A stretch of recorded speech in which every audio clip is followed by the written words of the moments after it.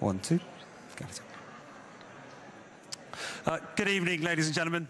Uh, my name is Mark. I, am floor managing this.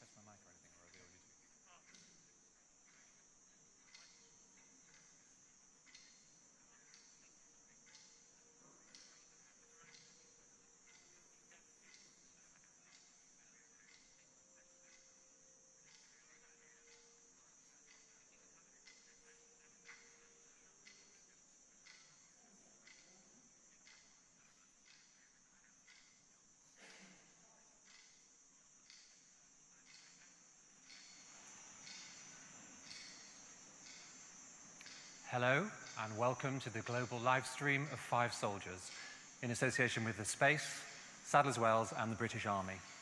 We're coming to you live from this Army drill hole, and behind me, the acclaimed Rosie Kay Dance Company are on stage and almost ready to begin. This show follows on from a sellout run at the Edinburgh Festival Fringe, where the company achieved more five star reviews. It's a powerful portrayal of the life and experiences of one female and four young male soldiers as they live, train together, and ultimately are deployed into enemy terrain. Show lasts for just over an hour and will be immediately followed by a post show discussion featuring uh, choreographer and creator of the show, Rosie Kay, Alistair Spalding of Sadler's Wells, dance critic Luke Jennings, and from the military, uh, General James Bashall and Colonel Sue Wright. Now, if you want to take part in the conversation, please do comment, or you can tweet us your questions using the hashtag five, that's number five, five soldiers live. And so now it's over to the Rosie Kay Dance Company.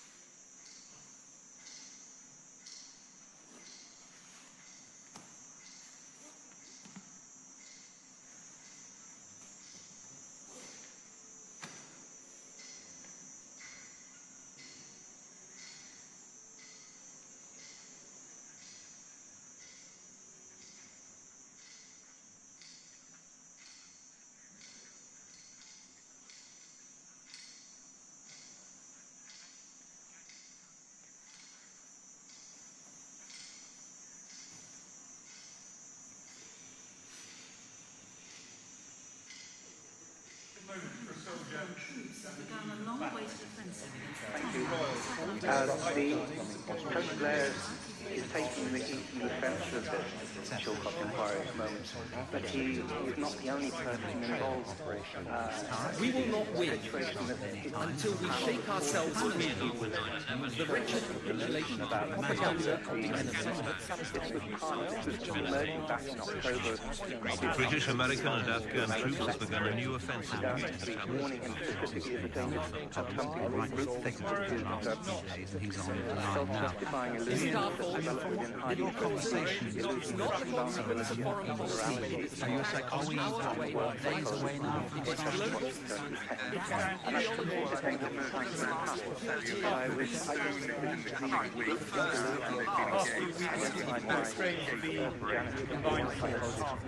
Soon we will be part of an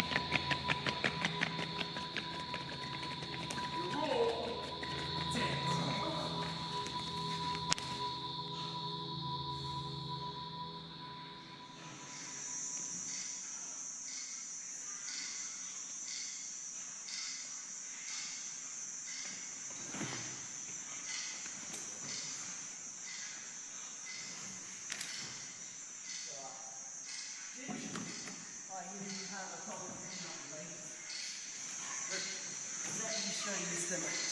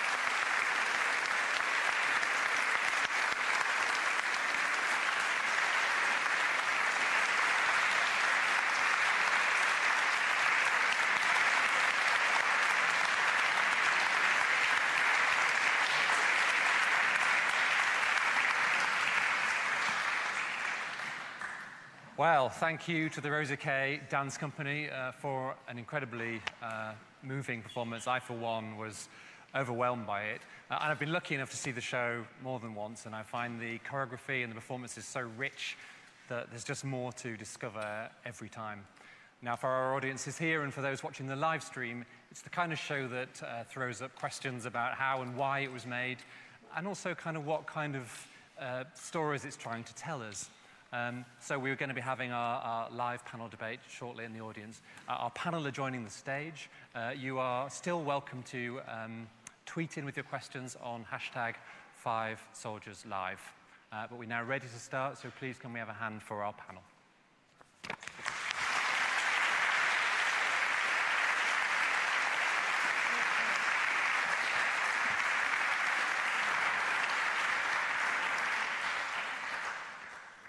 Thank you. I'll start by introducing the panel. Um, to my left, uh, from the military, we have uh, General James Bashall, who's the commander of Home Command. We have uh, Colonel Sue Wright, who was the first uh, Army officer responsible for the arts uh, and is now the commander of 7 uh, Military Intelligence Brigade. to my left, Rosie Kay, the creator and choreographer of the piece. I'm Simon Preston, and I'll be chairing this discussion. Uh, to my right, we have Luke Jennings, the uh, dance critic for The Observer, and Alistair Spalding, Chief Executive and Artistic Director of Sadler's Wells. Um, I'll start with Rosie. I mean, you know, such a polished, rich, complex show. It's kind of hard to take it back, unpick it, and try to work out where on earth all that started. So, where did it begin? Uh, well, I was in a RAIN fellowship and it allowed me some secondments into interesting places. Um, I'd suffered a really serious injury on stage while performing in a big show. And following the anaesthetic a few days later of the operation on my left knee, I had a vision, vivid, vision like dream where I was lying on a desert battlefield and my left leg had been blown off. And I was over here and it was over there. And my first thought was kind of like, oh dear. Then my second thought was, is, is my body my soul? Or where does the soul reside in my body? I've trained since I was very little to, to do the job of performing. And I went downstairs and I switched on the telly and the faces of young people killed in Iraq at that point. And for the first time, I correlated the intersection between how on earth does a soldier train to risk not just uh, limb, but life? What kind of training prepares your body to do that? And is it something that I, as a dancer, as a choreographer, as someone who undergoes rigorous training, discipline, pain, but also thrill of my job, is that something that I might be able to understand? So that took me on a very long journey, but eventually I managed to get an embedded attachment to um, an infantry battalion where I joined uh, day and night manoeuvres on Dartmoor and Salisbury Plain, um, often as the only female. I then spent time at Headley Court and I then spent time at Selly Oak Hospital, Royal Centre for Defence Medicine, as was. Um, but by that time, the people I trained with at Four Rifles, they were the ones coming back with what they call complex trauma injuries, so that's multiple amputations. So I, I managed through lots of underground ways to get such incredible access to the military at a time of, of, of huge employment, uh, deployment um, I felt like I had to do something about it. Amazing. I mean, perhaps we'll find out how the idea and the opportunity became the show later on. Um, James, General James, uh, a, a, long lifetime in the army, I'm sure. I, I, just kind of wanted to ask you, you know, your, your reaction to the show as somebody who served, how much does it resonate with your experiences of life in the army? Well, very much so. I thought the, one of the most powerful feelings I have is the physicality of what the dancers go through. And I've been, they've worked incredibly hard. And that replicates a lot of the training and the work ethic that we have in the army. I thought the, um, the group behavior antics brought back a few memories of my youth. um, but I, I, was most struck actually by, by, the scene in the helicopter and the, the imagery on the screen behind us of flying low over Helmand, because that's exactly as it was in Afghanistan, and that low-level flying and, and the jolting of the helicopter, I, I think that sort of combination is very evocative of, mm. of service in Afghanistan. Mm, I'm sure. Uh, Sue, um, we're here in an army drill hall. You're here. Um, clearly, there's a relationship between the show and the army, but to me, this isn't about recruitment. No. You know, why on earth is the army supporting this show? Yeah, it's absolutely not about recruitment. This is part of our engagement work. we're really keen as the Army to continue to work towards better connecting with all parts of society, mm -hmm. um, really as, a, as part of our responsibility to be society's army. And of course, the arts um, provides a fantastic array of opportunities to try and explore what we do, to try and help uh, the public understand what we do. There's lots of people out there who have absolutely no connection with the army, and, and as I say, it's part of our responsibility to, to be their army. Um, I took post about 18 months ago, and for me, the projects have fallen into two areas. One is, uh, interestingly, trades that soldiers do that actually fall into the arts arena anyway. So we've got our amazing musicians, and uh, as it turns out, the British Army is the largest employer of musicians in Europe. Mm. So an interesting fact. We've also got our world-class chefs and our world-class photographers. So great excuse to bring people together to talk about what we do. Um, and have a, an excuse for conversation. Sure, but but- then also there's these one-off projects. Yeah, and but surely Um, this is a little risky. You know, it's not, you know, a straightforward is, portrayal. But I think we're in a space now where, you know, the army should talk about what it does and help people understand and discuss the issues around it. I think that's the right thing to do, to have an open conversation. So, you know, we've worked with art, we've worked with dance, um, we look at theatre. Um, any opportunity that helps us explore what we do and just help builds that connection with society. Uh, thank you. Before I move to my right, um, we've got an online question that was sent in uh, before the performance tonight um, from uh, Sir Max Hastings, and I'll read it. Uh, what do you think this work tells us about wars in general, Afghanistan in particular?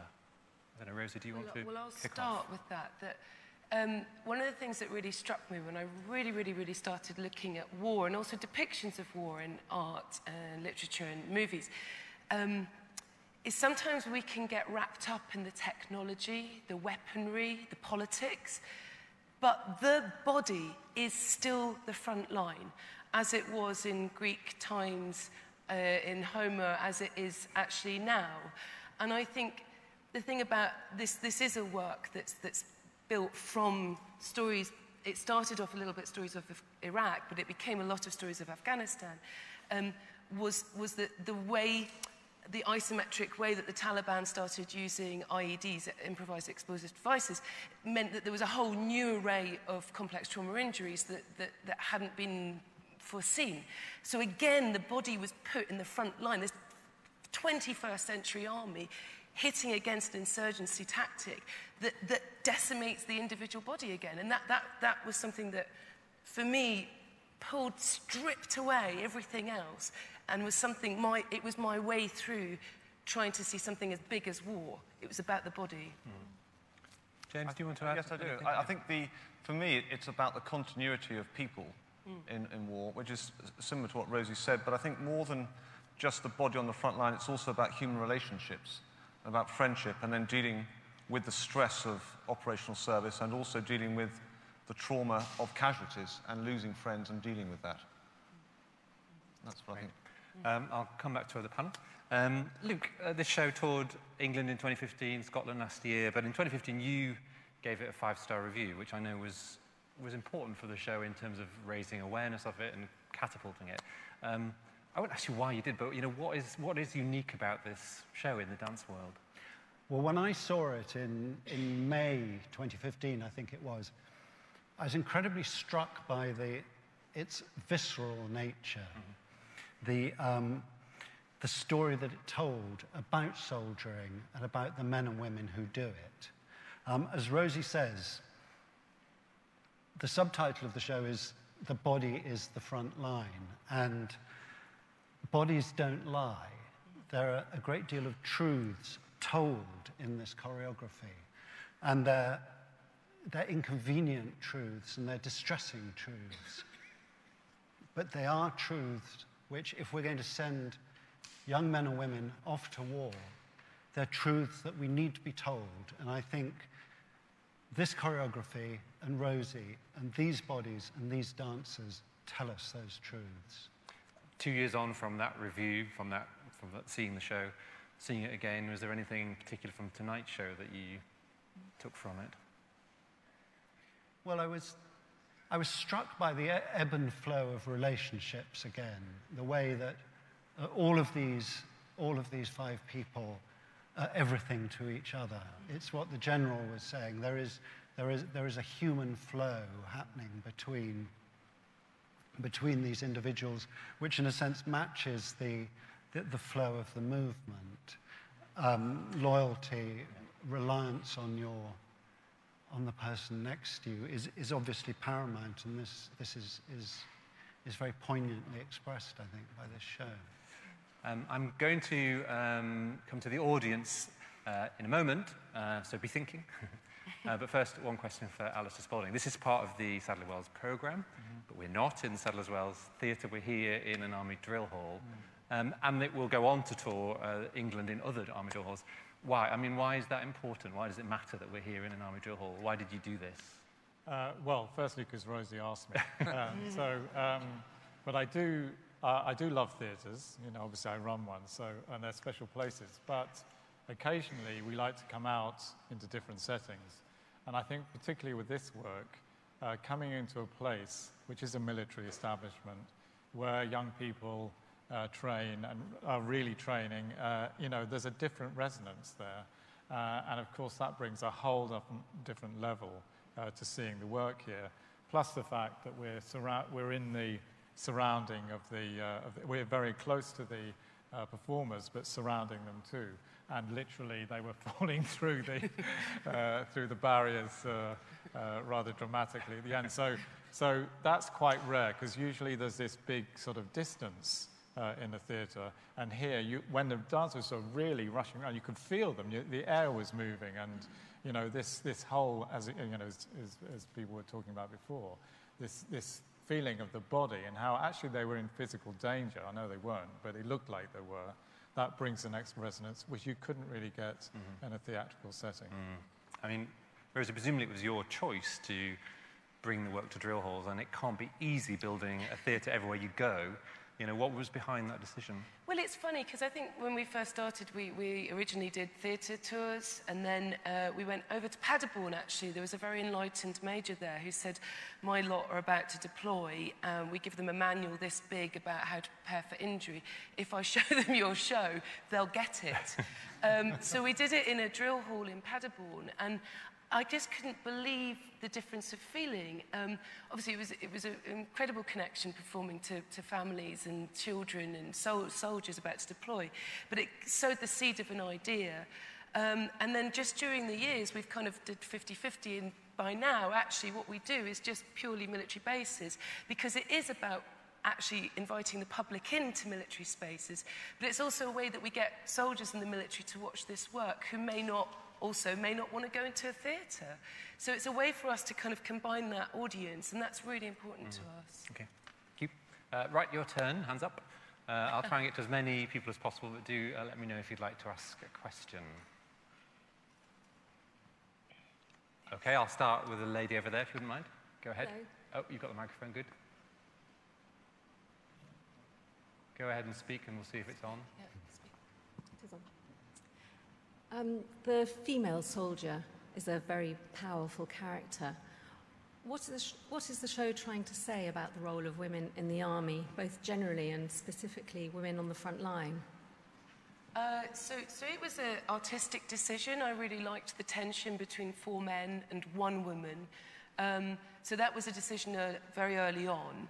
Um, Harriet absolutely is a real person. She's a real character. She's a real soldier within the show. But also, more than that, she symbolizes all of womanhood in a way. And so there's times where she becomes the whore, the prostitute, and the Madonna, and the Virgin. She, she, she symbolizes so much about the way that women are perceived. Now, I'm not in the army and I haven't been in the army, but I did have some experience of being the only woman in a big, massive kind of um, you know, male, male environment on, on exercise. And I certainly felt at one point like I had to prove myself doubly than any other man there. It was like I was myself having to keep up, but then I had to say, look, women can do this, they can do this. But maybe Sue might have more to say about what it's actually like to be a woman in the army. Yeah, absolutely. Oddly, the, the choice you made is, is a, about right for the balance you experience in the army. Uh, it, it's slightly over the proportion. Had they had larger numbers, it would be slightly different. Um, but it, really strikes me how hard Harriet is working from the start. The chaps are still standing around chatting, she's checking she's ready.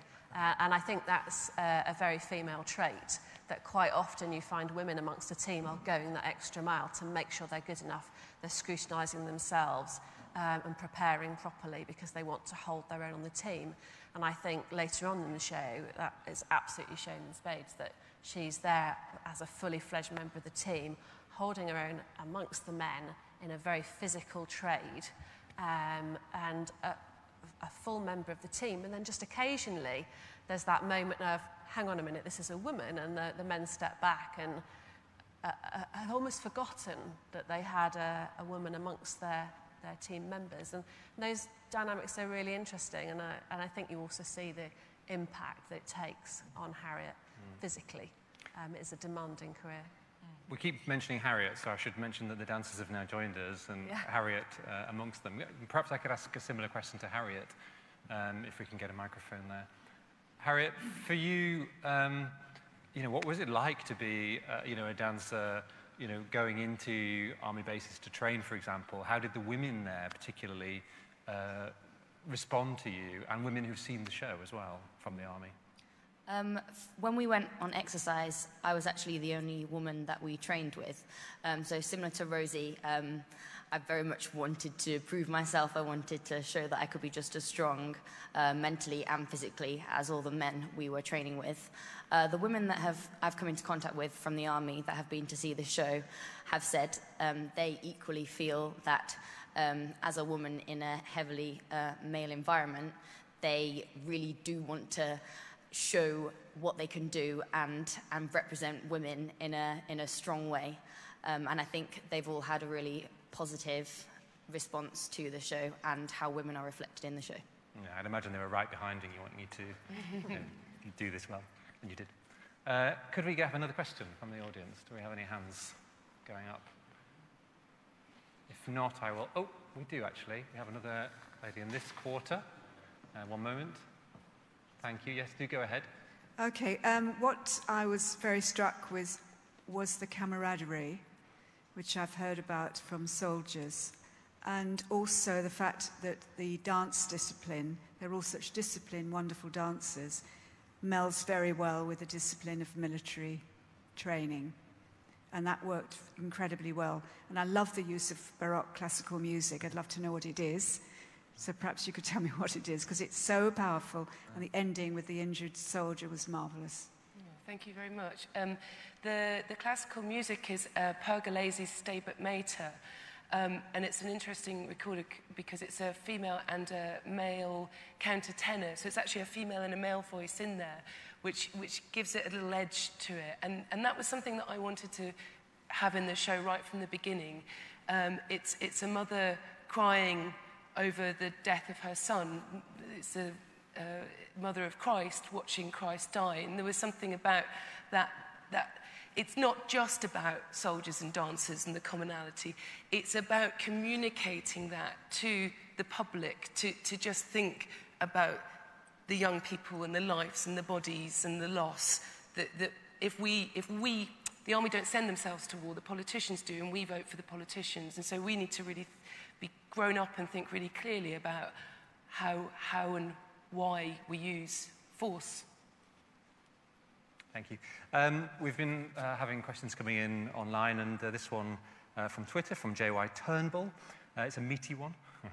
Uh, have you, how have you ensured artistic integrity uh, whilst working with the military? And is the relationship not problematic? but, uh, I, you've talked a lot, Rose. I don't know.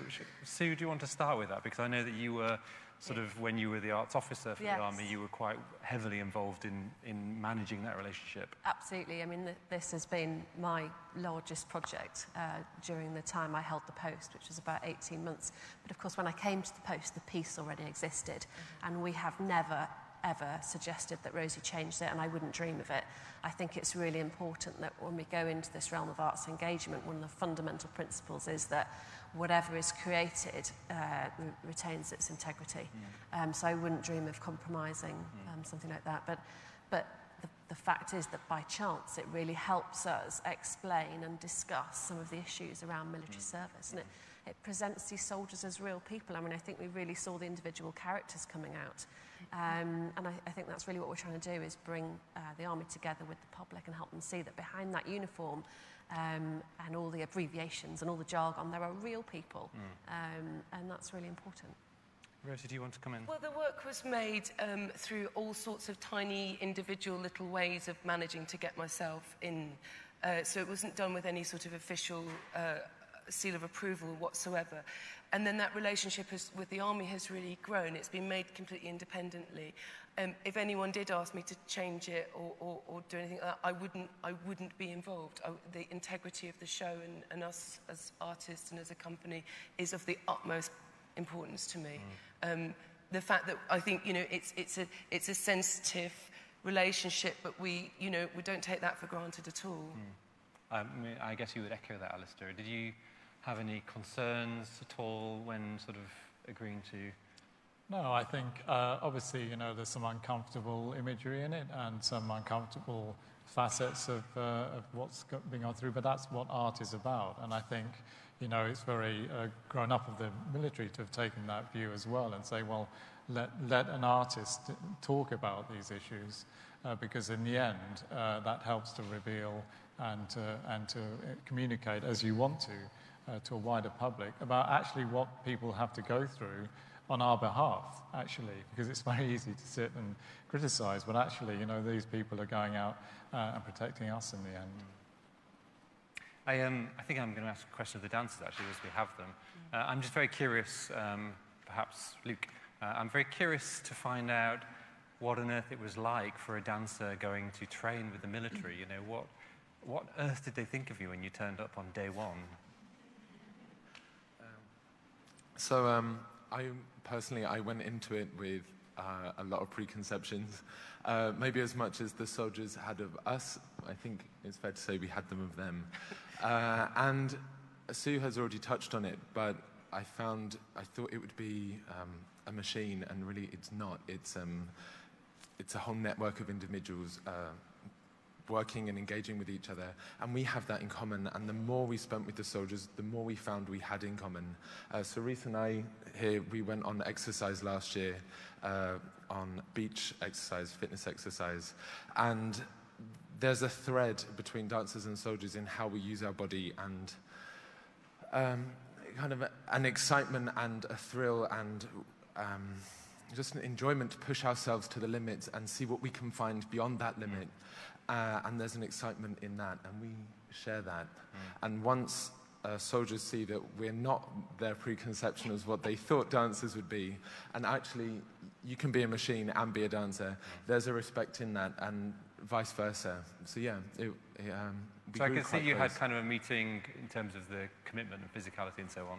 But what about after they saw the show? Did you perceive any change in the way that they related to you? Because for them, it was potentially quite unsettling seeing you getting under their skin. Go ahead, yeah. Yeah, um, before you, they sometimes last tour we would do the show on the Friday and the Saturday. The Friday would be to the military. Uh, the officers would come along. Sometimes the privates were told to come along, uh, and they were very uh, icy to begin with. They wouldn't tell you much, uh, and they see the show and maybe some of their private thoughts that they have that sometimes they're not comfortable to talk about. They see that reflected back at them, and they realise that they aren't the only one that had that thought. So you see from the soldiers, this show seems to have a cathartic effect on them and it breaks the ice and they can talk about things that they maybe couldn't have before they saw the show. And definitely, uh, not mentioning any specifics, we have had all of us, soldiers, come up to us and tell us private stories and thoughts that they, they never would have told you before they saw the show. And you think, like, I was only there an hour, and yet uh, you can, yeah, they really open up. It's a, it's a nice feeling to, to see. Thank you. So we're coming towards the end of our discussion. I'll ask the audience again, do we have any more questions either for the panel or for the dancers? Um, do we have a microphone? We do, yes. Would you like to go ahead, madam?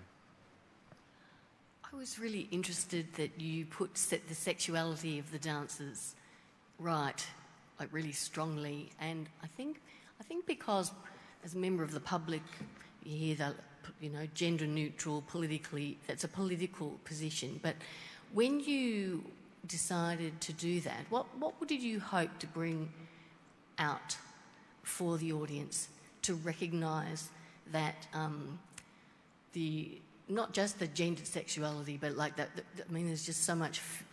It's part of their physicality. What, what did you hope though? What were your ambitions in that way? Well, it's something I'm, I'm, I'm, I'm genuinely interested in as a choreographer. So it's, it's ideas around um, sexuality, the link between sex and violence um, does have a little thread through my work. Um, And, and actually, Five Soldiers gives an excuse to examine that in more detail, really. Um, there's also commonalities that, that the, the certain experiences within that show that, that can happen on any night in any town anywhere in England and it has absolutely nothing to do with the military whatsoever. Um, and I think gender politics are really, you know, out there and, and, and worrying. The statistics are there. We know that the statistics are there in civilian life and they're there in the military. I did read a really interesting book called Trained to Kill by a US psychiatrist who does link violence, aggression, and sexuality. And there is a, there is a, there is a kind of interesting argument there, which um, I can send you the, the link to his book. Um, there was also just this, this, this, you know, we caged them in, this powder keg of, of, of young people forced to be with each other all the time that I felt does come out in a, in, a, in a physical, sometimes sexual, but it can be sexual one second, love the next, hate the next. It's, it's, a very, it's, it's a fluid thing, it's an energy that's running through them. And that's a vitality about young people trained to that peak fit, fitness. Uh, we literally have time for one more question. Uh, there was a lady here who was really eager, I think, before, so uh, you, have the, you have the final word. Thank you. Um, I just want to ask the dancers um, how long did you train with the army, and what was the hardest thing to do as a dancer, being a dancer myself? this is Duncan. Uh, we all we all went on military exercise and we trained for a couple of days with the army, going out into the field, um, working with the soldiers, watching them do their stuff, and that was really insightful, and that's what really gave the, the authenticity for this piece. Watching them patrol, so we could then basically cop, uh, copy their signals and things and put that into the piece. And also, we had drill instructors that came in and PT, physical uh, trainer, trainer soldiers that came into the uh, rehearsal studio and basically taught us how to do the drill, which almost tore us all apart because there was arguments and almost punch-ups left, right, and centre. But it really having these guy, uh, these guys and girls come in to teach us was absolutely fantastic, and we couldn't have actually shown you a lot of the stuff that we did in that piece today if it weren't for them. That's a great way to wrap up. Thank you very much, Duncan. Uh, yes, it is all we have time for. Um, so it just remains for me to thank our panelists for all of their insights this evening. Uh, also to thank the uh, University of London Officer Training Corps who have let us use their wonderful building. Um, but I think most of all to thank the dancers and indeed the technicians who've made this extraordinary experience possible tonight. Um, for those watching the live stream, if you still feel uh, you'd like to see a live performance in the flesh, and I do recommend it. Um, the company are touring until October, middle of October 2017 to army venues uh, around uh, the UK. So uh, thank you to our audience here. Thank you to you for watching uh, in the live stream, and good night.